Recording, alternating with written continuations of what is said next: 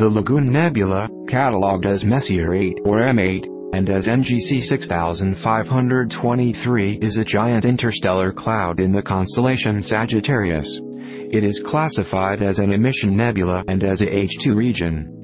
The Lagoon Nebula was discovered by Giovanni Hodierna before 1654 and is one of only two star-forming nebulae faintly visible to the naked eye from mid-northern latitudes. Seen with binoculars, it appears as a distinct oval cloud-like patch with a definite core. A fragile star cluster appears superimposed on it.